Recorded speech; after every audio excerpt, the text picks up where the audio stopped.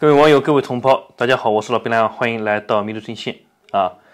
那么，中俄参谋长视讯通话，俄罗斯将参加北部联合二零二三演习，也就是中国跟俄罗斯将在中国这边搞军事演习。那么，这个演习呢，不是海上的联合空中战略巡航和这个海军的军演，而是陆地上的这个军事演习啊。这种军演呢？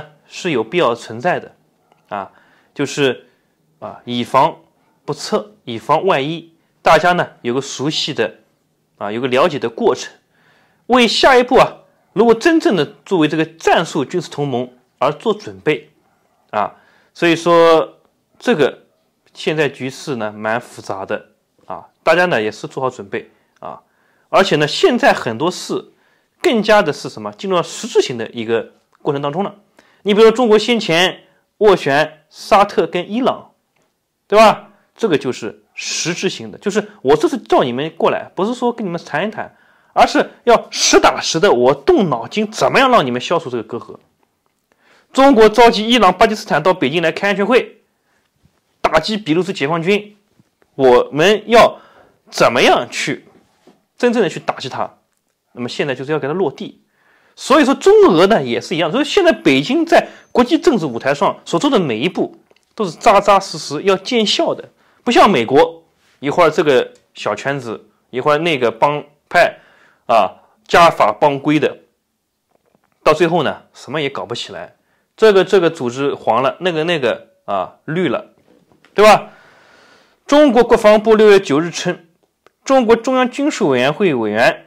中央军委联合参谋部参谋长刘振立九日与俄罗斯国防部第一副部长兼武装力量总参谋长格拉西莫夫视像通话。中方指俄罗斯会参加北部联合二零二三演习。刘振立与格拉西莫夫就落实两国元首共识，加深两军合作交换意见。双方共同确立，俄方将应邀参加中国组织的北部联合二零二三演习。俄卫网九日引述两人通过期间啊通话期间，格拉西莫夫称，俄中全面战略协作伙伴关系处于最高水平。他还强调，俄中在国际舞台上的协同努力为世界局势提供稳定因素。他表示，俄中联合作战训练活动仍应是今后双方合作的一个重要领域。格拉西莫夫祝贺中国同时被任命，啊，中国同行被任命。格拉西莫夫称。俄中武装力量举行联合作战训练活动，应当依旧是今后双方合作的一个重要领域。格拉西莫夫坚信，此次会谈将有助于进一步加强俄中两国在防务领域的战略伙伴关系。他还邀请刘振立在方便的时候访问俄罗斯。那么说的很清楚了啊，战略全面战略协作伙伴关系、合作伙伴关系啊，它都是有这个。等级的，你像中国跟巴基斯坦是全天候，那就在政治、经济、外交、军事，那那就是一个同盟了啊，全天候的。包括跟缅甸也是全天候的啊。后来呢，对这个伊朗也是用全天候的啊。那也就是说，你看在这个缅甸这边支持军政府，支持缅甸宪法啊。缅甸宪法是什么？支持军政府吗？对不对？那你昂山素季。代表西方跟日本好好的不得了啊，那就把你搞掉，对吧？你看他是没有当满任任期的。巴基斯坦的伊姆兰汗小啥鬼嘞啊，老是来忽悠习总啊，我们是铁哥们儿，我啊，我们是你们的巴铁啊，但是什么事儿也不干啊。然后呢，那北京就就感觉这这小子他妈有点不太好啊。你看中国的这些恐怖袭击，中国人被杀。都是在伊姆兰汗任期内发生的，对吧？好，那就支持谢里夫家族了，对吧？你们就上来。如果印度要是把巴基斯坦打得怎么样，要打到伊斯兰堡或者怎么样了，那中国就要出兵啊，中巴联军就要打印度。那么俄罗斯现在呢，在战略上面合作的非常好，战略现在属于是西方的一个战略威慑。那么只有说你陆军的军事演习呢，是真正的属于是两军协同配合、协同作战。这个是防务领域的全，就是全面的战略伙伴关系。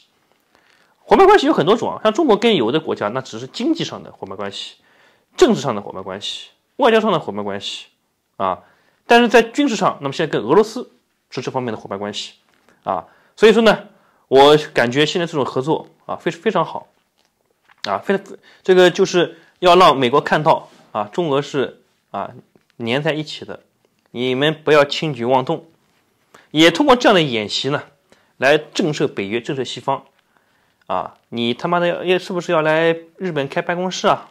啊，要插手台海的事，德国要派军舰过来打肿脸充胖子，英国要派航空母舰重返亚洲，日不落帝国。啊，我跟俄罗斯的战地面配地地面的这个配合，呃，会不会接下来我可以到俄罗斯去帮忙啊？如果我武统台湾的话，你们欧洲不保持中立吗？啊，我解放军就到乌克兰战场上上面去，你们要全方位制裁我。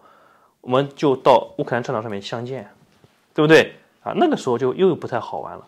所以说这种考量呢都是比较多的啊。所以说呢，你看中国前年是在宁夏青铜峡谷那那边搞的，对不对啊？这样的演习是有必要的啊，有必要的。下一步呢，我个人感觉呢，就是之前全国人大常委会委员长栗战书啊，跟俄罗斯也在谈要加入吉安组组织啊。所以我个人感觉呢。什么时候能够加入吉安组织啊，或者是一个什么别的一个什么组织框架下，那就正儿八经军事同盟了啊。所以说我们静静观其变吧啊。那么还有，那么说到这个中东，呃，我们再讲另外一个比较重要的事情啊。中国外交部阿巴斯应习近平之邀，六月十三日至十六日访华。中国外交部六月九日宣布，巴勒斯坦自治政府主席阿巴斯。因中国国家主席习近平邀请，在六月十三日至十六日访华。那么阿巴斯呢，代表了巴勒斯坦。习近平主动要要求，就邀他到这个北京来访问。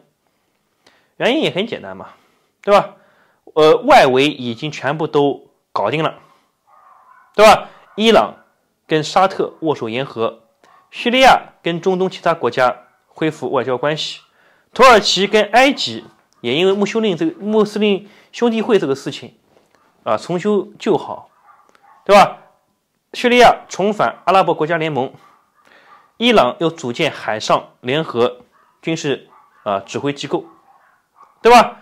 那在这个背景之下，外围全部搞定，那就是核心就是巴勒斯坦跟以色列这边的斗争了。中国要直接插手了，就是以前中国叫不干涉他国内政。就是对任何的事情保持中立，或者说投弃权票。现在不好意思了，你以色列他妈个逼不是一天到晚支持印度吗？中国驻以色列大使也被他们给干掉、杀掉，对吧？那么你 这种不友好的姿态挺明显的啊。那么这个中国就支持巴勒斯坦，中国也知道整个西方的气脉就是在第二圣殿。那现在就是在你内部开始要来搞你了，啊，跟这个阿巴斯见面，给他面授机宜，教他怎么样跟以色列搞斗争，啊，说不定啊，我们还秘密的跟哈马斯的人都有都有所见面。我跟各位讲，哈马斯、黎巴嫩真主党都是伊朗伊斯兰革命卫队的分支机构，啊，只要跟伊朗搭了关系，这边基本上都是通的，啊，由伊朗来训练的。现在这个巴巴勒巴勒斯坦这边的阿巴斯啊，在政治上应该怎么样去搞？习近平，你看让他来三天时间啊，来三天时间啊，这个这个支持力度是很大的啊。哦，我们再来看，中国驻韩大使称赌华书必毁，韩国外交部召见邢海明抗议。中国驻韩国大使邢海明六月八日在官邸与韩国最大在野党。共同民主党党魁李在明会晤，就包括中韩关系、朝鲜半岛在内的问题进行交流。邢海明称，现在赌中国输的人，今后一定会后悔。韩国外交部九日召见邢海明，严正抗议其言论。邢海明八日表示，当前国际形势复杂演变，中韩关系还面临着外部因素的挑战，希望韩方在处理对华关系时能够摆脱外部因素的干扰。他指美国正竭力打压中国。有的人赌美国赢，中国输，这显然是误判，没看清历史大势。这些人不了解中国的历史和中国的社会制度，不了解中国人民在中国国家主席习近平领导下团结一致，努力实现伟大中国梦的坚定意志，只会纸上谈兵。他称三十年前就有人唱衰中国，抛出所谓的中国崩溃论。三十年后，中国用实打实的成就证明那些人的错误。现在赌中国输的人，今后一定会后悔。韩国外交部副部长啊，召见秦海明。那么 这个秦海明。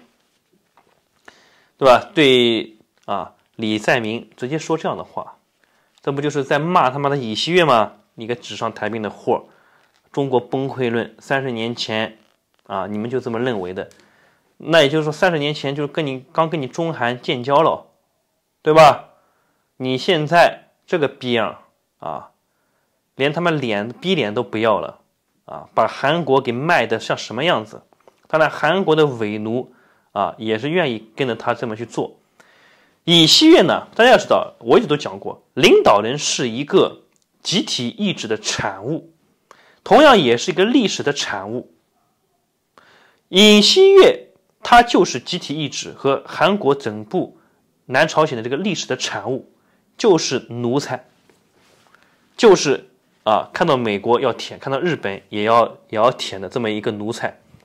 所以说，你跟这帮奴才，他是属老鼠，鼠目就是寸光。你跟他去讲这些大道理，他听不懂的。